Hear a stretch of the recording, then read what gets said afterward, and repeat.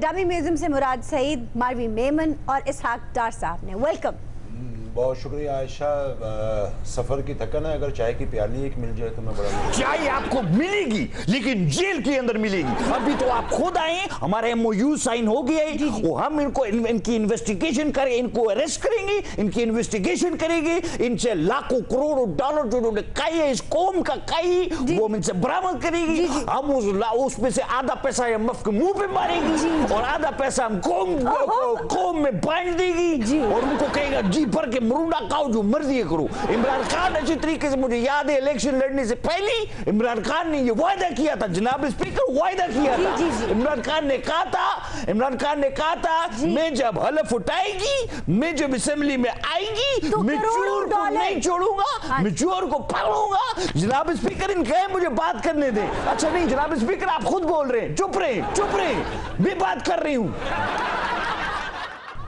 नहीं हमसे कुछ निकलवाएगी या नहीं निकलवाएगी? फ़िलहाल तो आप अवाम की जेबों को टक लगाएगी उनके पैसे निकालेगी उनकी चीखें निकलवाएगी। आप जो मर्ज़ी के आप जो मर्ज़ी है की करप्ट लोगों को नहीं जोड़ेगा चोरों को नहीं छोड़ेगा इसी बात का इमरान खान ने वोट लगी है। जी मुराद साहब मुराद सईद साहब प्लीज़ आप इजी हो जाए ये असेंबली नहीं है। मुराद सही सब कैसा मुहिम बरतानिया के सेक्रेटरी खारजा हंट तो कहते हैं कि हम इस डार को वापस नहीं करेंगे। इमरान खान हंट को भी अंदर करेगी उसको नहीं छोड़ेगी उससे बराबर करेगी। लूटी हुई सारी दौलत वापस होगी। ये जो लोग इन्होंने जो नुकसान पहुँचा है इनको कोई हंट को कोई एनआरओ नहीं मिलेगा। मैं बताता हूँ इमरान खान की ब्याह भी बता दूँ। सर आपको पता है हंट कौन है? कोई भी हो खान साहब ने कहा है किसी को कोई एनआरओ नहीं मिलेगा। हर एक को अंदर उस लूटी हुई दौलत को वापस लेंगे सर लूटी हुई दौलत वापस लाए लेकिन वो ब्रिटेन का सेक्रेटरी खारजा है। तो कोई बात नहीं उन्होंने भी बहुत लूटा है। मैं खान साहब ने कहा है पाँच हज़ार साल के अंदर वो जितनी लूटी हुई दौलत थी वो वापस ले आनी। सिंह साहब जब आप बोलते हैं तो ऐसा क्यों लगता है कि आप रेवड़ियाँ चबा रहे हैं? हाँ तो क्या हुआ? खान साहब कहते हैं कि रेवड़ी चबानी है चबाओ लेकिन वो रेवड़ी लूटी हुई रेवड़ी नहीं होनी चाहिए। और लूटी हुई रेवड़ी को वापस लेके आएँगे और कोई एनआरओ नहीं देंगे रेवड़ी लूटी वाले। सुना है कि आप इत्तेहादियों से जान छुड़वाना चाहते हैं? तो हमने कब कहा है कि हम इत्तेहादियों को बाव में लेना चाहते हैं? हमें क्या फ़र्क? हम तो इता लेकिन एक चीज़ है हमें इत्तेहादियों से कोई प्रॉब्लम नहीं। लेकिन खान साहब ने कहा अब इत्तेहादियों को कोई वजारत नहीं मिलेगी। सर इधर बड़ा बोल रहे हैं आप बैठे हुए आपको असेंबली में बोलने नहीं देते। वो no baby no baby no baby क्यों कहते हैं आप? वो इसलिए कि असेंबली के अंदर इस तरह के कापट अंकल बेटी हैं। उनके बीच में मैं यंग हूँ स्मार्ट हूँ इसलिए पोपट लगता हूँ अच्छा मारवी जी ये अफवाहें हैं या आप सच में पीटीआई ज्वाइन कर रही हैं? मैं सोच रही हूँ। मारवी जी डार साहब को प्रेस कॉन्फ्रेंस में एक्सपोज करने का कहा लेकिन वक्त नहीं बताया। मुझे इन्हें एक्सपोज करने के लिए वक्त की ज़रूरत नहीं पड़ेगी। अच्छा इसका मतलब आप प्रेस कॉन्फ्रेंस भी नहीं करेंगी? जी बिल्कुल। इन्हें एक्सपोज करने के लिए प्रेस कॉन्फ्रेंस की भी ज़रूरत नहीं पड़ेगी। खुदा ना खास्ता आप भी कहीं किताब लिखने का तो नहीं सोच रही? जी किताब लिखने का नहीं तस्वीरों वाली किताब। ऐसे कौन से राज हैं बीबी आपके पास जो आप इन्हें एक्सपोज कर देंगी? वक्त तो आने दें हर हकीकत मजाज हो जाए काफिरों की नमाज़ हो जाए। वाह। इश्क दिल में रहे तो रुसवा हो लब पे आए तो राज हो जाए। क्या? क्या रुसवा हो? कमाल करती है आप भी। मुझे तो समझ नहीं आ रही क्या कह रही है ये? भी मैं एक शरीफ नफ्स आदमी हूँ सीधा साधा बंदा हूँ। जी जी। छह सात मरतबा बस इनके साथ सफ़र सफ़र किया है गाड़ी में। लेकिन पार्टी क्यादत के साथ दुबदू तो मैं कभी इनके साथ मिला ही नहीं। तो बस फिर डर किस बात का? उन्हें करने दे प्रेस कॉन्फ्रेंस मुझे किस बात का डर है? मैं क्यों एक्सपोज हूँगा हाँ हाँ शौक से करें। हक है इनका। लेकिन ये जो कह रही है ना कि एक्सपोज कर देंगी। क्या एक्सपोज करेंगे? मुझे कुछ समझ नहीं आ रही। मैं तो एक खुली किताब हूँ। कौन सी किताब? तस्वीरों वाली। आयशा ये हमारी सियासत का अफसोसनाक तर्ज अमल है। ये सियासतदान पहले तो शीरो शकर हो जाते हैं फिर एक दूसरे को ब्लैकमेल करते हैं। और एक्सपोज करने के चक्कर में होते हैं। कुछ समझ नहीं आता ये क्या हो रहा है। प्रोफेसर साहब आप सही कह रहे हैं। ये कोई प्रेस कॉन्फ्रेंस नहीं करेंगी। ना ही कोई चीज़ मंजर आम पर लाएँगी। मैं समझता हूँ सिर्फ़ ये मुस्लिम लीग नून से सेफ़ एग्जिट चाहती हैं। नहीं कौकब साहब हमने तो सुना है कि इनके पास ऐसे ऐसे राज हैं कि लोग अपना मुँह छुपाते फिरेंगे।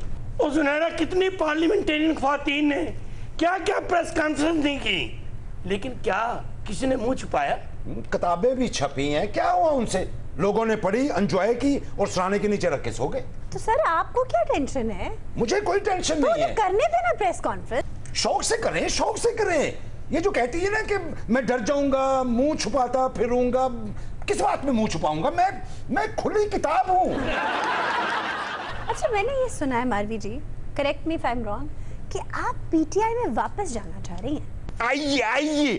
आप जब हमारी पार्टी में आएगा, हम आपके ऊपर फूल बरसाएगा, हम आपको मोस्ट वेलकम करेगा। आप पहले भी हमारी पार्टी में आई थी, लेकिन किसी वजह से आपको मौका नहीं मिला, जिस वजह से आप वापस चले गई लेकिन अब हम आपको मौका देंगे। और हम टीवी पे इकट्ठी बैठ के खान साहब के विजन को एक्सप्लेन करेगा पॉलिसियों को डिपेंड करेगा। हाँ ये बात है, ये। आपको समझ आई? शौक से जाइए पीटीआई में। लेकिन किसी शरीफ आदमी पे कीचड़ तो ना उछालिए। तो शरीफ आदमी क्यों इतना उछल रहा है? इंतज़ार कर ले अगर आपके खिलाफ सबूत नहीं आएँगे तो परेशानी किस बात की? वैसे डार साहब अगर कोई ऐसा मसला नहीं है तो आप नर्वस हो जाते हैं। इससे ज़ाहिर होता है दाल में कुछ काला है। कौन सी दाल है जिसमें काला नहीं होता? दाल में थोड़ा सा पानी डाले काला ऊपर आ जाएगा। निकाल के बाहर फेंक। तो तू सब क्यों नहीं काट के बाहर सट्या? फेंकेंगे फेंकेंगे। जी? आ रहा है वो वक्त। आप मुझे ये बताएँ कि मेरे पीटीआई में जाने से आपको क्यों इतनी जेलसी हो रही है? भाई मुझे क्यों जेलसी होनी है? आपका मेरा क्या रिश्ता है क्या नाता है? मेरी तरफ़ से आप जाएँ पीटीआई में। मारवी बीबी आपका कोई सियासी नुकता नज़र है सही? कभी किसी पार्टी में होती है कभी किसी पार्टी में कभी किसी के साथ कभी किसी के साथ। क्या है ये? तो ये तो मेरा हक है। क्या हक है? पार्टियाँ बदलना। हो कोई जवाब भी हो। आप तो मामूली बहाना बनाकर उधर चली जाती हैं कि इधर चली जाती हैं। अगर मैं फ्लोर क्रॉसिंग नहीं कर रही तो ये मेरा हक है। अरे आप कौन सी मुंतखब नुमाइंदा हैं जो फ्लोर क्रॉसिंग करेंगी? तो फिर आपको क्या तकलीफ़ हो रही है मेरी पार्टी बदलने से? छाप दें इनकी भी एक तस्वीरों वाली किताब।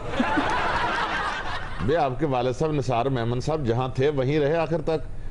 आपको सियासत में लाए लेकिन आप में इस्तेहकाम नहीं आया। जब पार्टियों में सियासी इस्तेकाम नहीं है तो हम क्या करें? तो फिर ऐसे ना ना किया करें जिस पार्टी में जाती है उसके गुण गाती हैं। मामूली बात बनती है तो पार्टी छोड़ जाती है। वैसे मारवी जी प्रोफेसर साहब ठीक कह रहे हैं पिछली रैली में आपने मियाँ नवाज़ शरीफ की गाड़ी पे चढ़कर झंडा लहराया था खुशी में रक्स किया था शेर के साथ सेल्फी भी बनवाई थी। तो इस सब में गलत क्या है?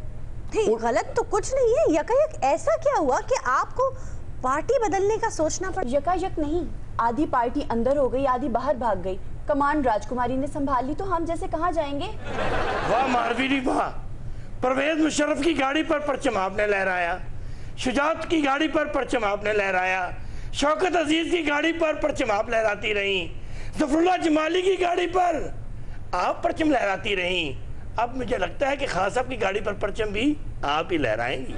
और क्या पार्टी पार्टी लगाई हुई है? ये इमरान खान की गाड़ी का अगर ये शीशा भी साफ़ कर लेती है तो ये एजाज की बात। है इमरान खान की गाड़ी के अगर ये टायर भी धो लेती है तो एजाज की बात। है सुबह का बूला अगर शाम को घर आई तो उसको बूला नहीं कहती। जी सर उसे भूला नहीं कहते। हम तो भूली कह रहे हैं बल्कि बोली कह रहे हैं। लेकिन सर ये क्या बात है?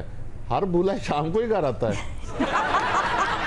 वैसे मारवी जी सूरत तो आपकी भोली सी है लेकिन बात करते हुए बहुत भड़क जाती हैं। मैं भड़कती नहीं हूँ लेकिन जिस दिन मैं भड़क गई ना तो बहुत से राज अफशा हो जाएँगे। मुझे समझ नहीं आ रही ये कौन से ऐसे राज है जो इनके सीने में दफन है? आज इनसे पूछिए उगलवाई वो राज मैं पास बैठा हूँ बताए कौन सा राज है? एक सेकंड।